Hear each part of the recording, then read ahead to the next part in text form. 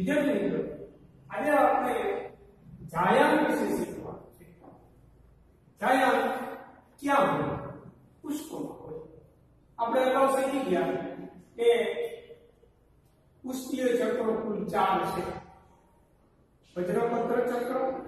ಜಲ್ಪತ್ರ ಚಕ್ರ ಉಂಕೆಶರ ಚಕ್ರ ಅನೇ ಸಿಕ್ಕೆ ಆ ಚಾರ್ ಕೈ ಕಿ ಉಂಕೆಶರ ಚಕ್ರಾ ಮೇ ಸಿಕ್ಕೆ ಕೇಸರ್ ಚಾ ಪ್ರಬಲ ಏ લીલી પ્રજનન કરતો હોય છે કારણ કે લીલી પ્રજનનમાં ભાગ લે છે આ ચાર ચક્રોમાં સ્ત્રી કેસર ચક્ર આવું એક નામ સ્ત્રી કેસર એક ચક્રની જેવું છે એટલે સ્ત્રી કેસર ચક્ર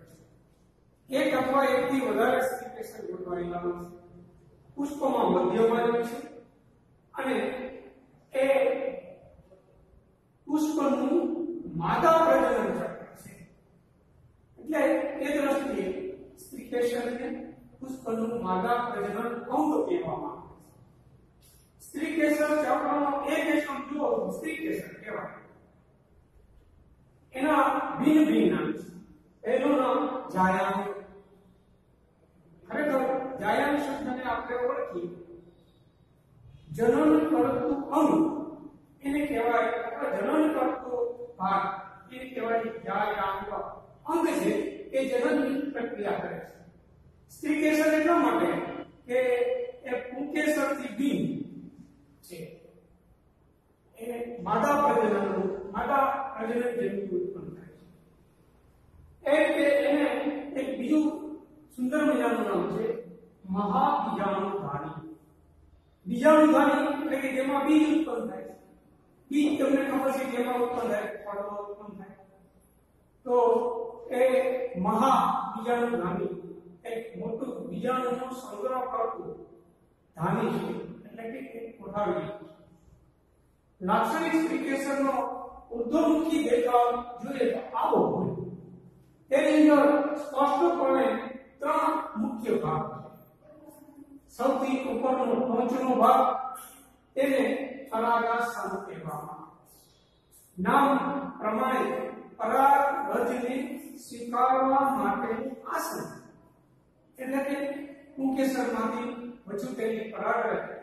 સ્ત્રી કેસર પર સ્થાપિત થાય એટલા માટે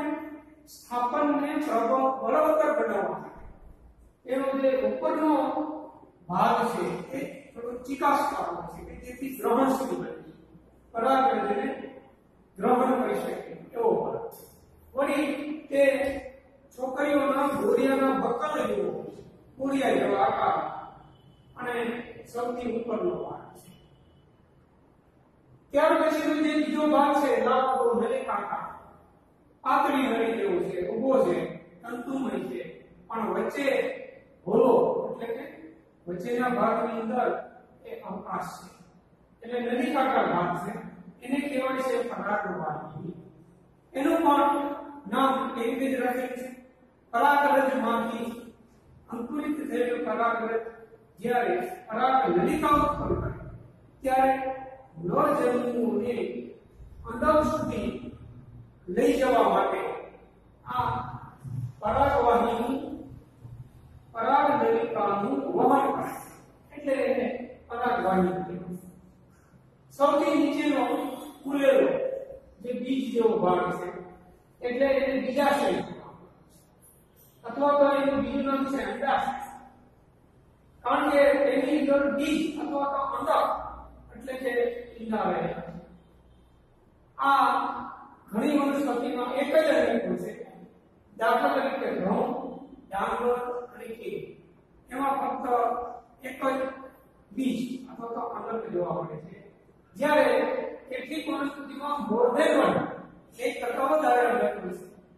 છે જેમ કે ઓર્કિડ મૃત્યુની અંદર પુષ્કળ અંડકો રહેલા છે પપૈયું તરબૂચ એ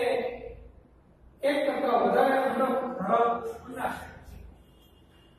સ્ત્રી કેસરની વાત કરતા હતા તો ઘણા પુષ્પોમાં ફક્ત એક જ સ્ત્રી કેસર હોય છે તો એને એક સ્ત્રી કેસરી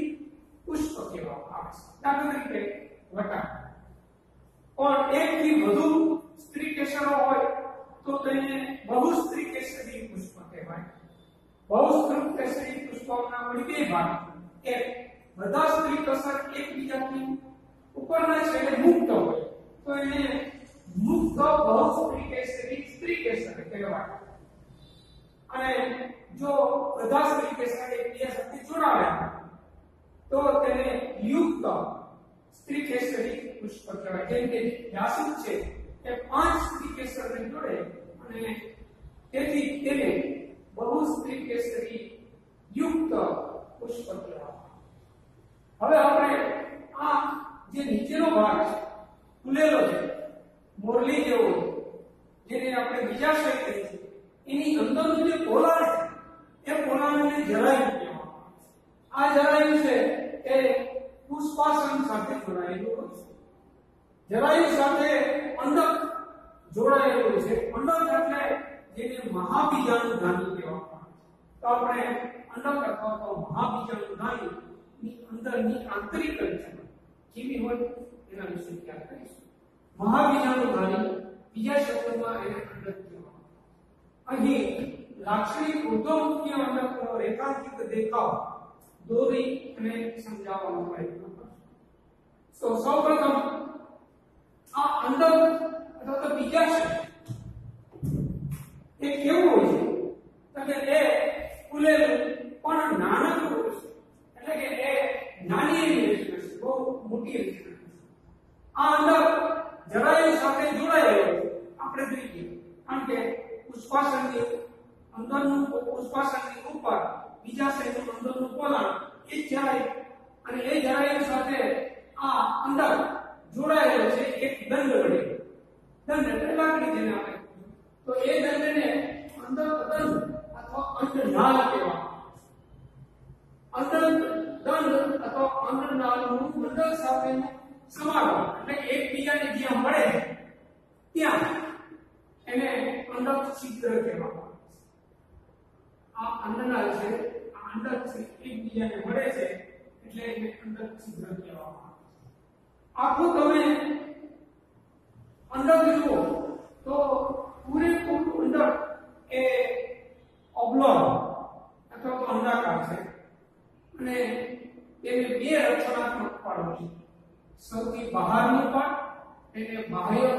આવરણ એટલે કે બાહ્ય બાહ્ય અંતરાવરણ કહીશ અને એની અંદર તુરંત જ બીજું સ્તર એને અંતઃ અંતરાવરણ તે બહારનું અંતો કે બે અસ્તકાવાનું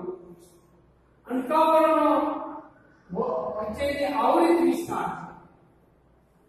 એ આઉરીત વિસ્તાર આખ્યાપો છે અને એક રીતે એ એવું તો અહિયાં આઉરીતનું એટલે કે અંતાવાનું આ છે બહારનોથી અને અંતર એટલે પછી ચિત્ર જેવું છે આ ચિત્રને અંતરક્ષીય ચિત્ર લખીએ અંડકવરની આવરણ આખો જે ભાગ છે આ બે અંડકવર છે અહીંથી આ જે વચ્ચેનો ભાગ છે તેને પ્રદેહત કહેવામાં અંડકવર જે બાજુ અંડર છિદ્ર છે એને એક એ સાઇડને અંડર છિદ્રીય ધ્રુવ કહેવામાં આવે છે એનાથી વિરુદ્ધ નીચેના ભાગ એને અંડકનો તળિયો ભાગ છે એટલે તળિયાનો ભાગ એટલે એને અંડર තලිය දුක් වෙනවා. અનિકાવણની આવૃત્તિ જે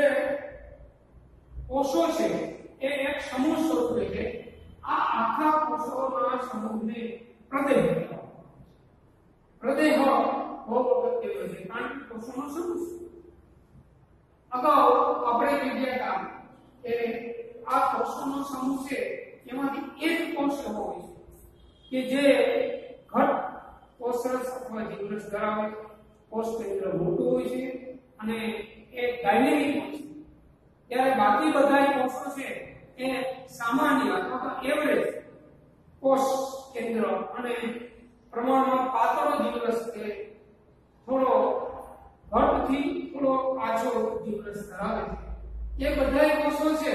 એ હૃદયના કોષો કહેવામાં આવે છે હૃદયના બધા કોષો છે એ વિપુલ પ્રમાણમાં ખોરાકનો કારણ કે આ અંડકનું વૃદ્ધિ વિકાસ થાય એના માટે શક્તિ જોઈએ આ શક્તિ છે એ આ જે હૃદયના કોષો છે એને જે ખોરાક સંગ્રહ કરેલો છે એના દ્વારા પૂરી પાડવામાં આપણે આવા જોઈ ગયા કે હૃદયના બધા કોષોમાં એક કોષ અલગ પડતો હોય છે તો આ અલગ પડતો કોષ છે એને આપણે મહાવિજયનો માતૃ કોષ કહેવામાં આવે છે એટલે એમએમસી વડે દર્શાવવા આ એમએમસી જેવો પુખ્ત બને એટલે એનું અર્ધીકરણ અર્ધીકરણ થાય એટલે એકમાંથી ચાર કોષનું નિર્માણ થાય આ ચાર કોષો છે એ આમ તો સરખાવું છે પણ એક કોષ એમાં પ્રભાવી છે આ જે પ્રભાવી કોષ છે એ બાકીના ત્રણ કોષને હૃદયના કોષો વડે જે અપાતું ખોરાક છે એ પહોંચવા નથી દેતો એટલે ત્રણ અવનત પામી અને એક છે એ આપણે કેમ બધા જ ભાગ એક ખાઈ જાય એટલે ટપટો થઈ જાય તેમ આ એક કોષ છે એને માતૃ કોષ અથવા એમએમસી એટલે આમ એમએમસી જે માતૃ કોષ રચાણું એમાંથી ઋણ કૂટની રચના ઋણ કૂટની રચના આપણે હવે આપણે નેક્સ્ટ વિડીયોમાં જોશું